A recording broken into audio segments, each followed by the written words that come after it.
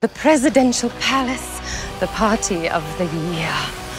Eyes bright, chins up, smiles on. I'm talking to you, Katniss.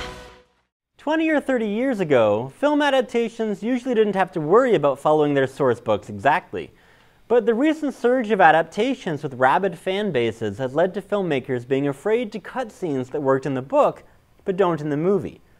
Catching Fire is a better movie than The Hunger Games was, but it still ultimately falls into the same traps by treating its source novel as gospel.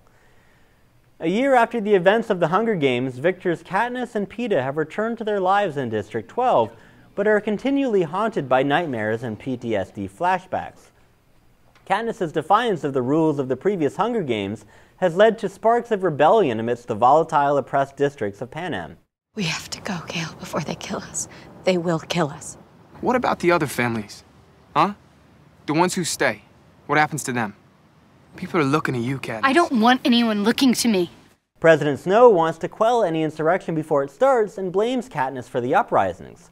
Along with the new game maker, Snow creates a Survivor All-Stars edition of the Hunger Games, allowing for the re-reaping of Katniss and Peeta and giving Snow the chance to eliminate Katniss for good. Catching Fire tells a somewhat similar story as the first movie, while crafting more complex characters and darker tones than the original had time for. What could have felt reheated instead feels amped up in scale and stakes. It also doesn't hurt that this had twice the budget of The Hunger Games, as the visual effects are much better this time around. All the returning actors are excellent, particularly Jennifer Lawrence and Donald Sutherland, and new additions like Philip Seymour Hoffman, Jeffrey Wright, and Jena Malone fit right in. If there's a flaw with the movie, it's its slavishness to the pacing of the book. The first half of Catching Fire is all character development and setup, which worked much better in literary form than it does cinematically.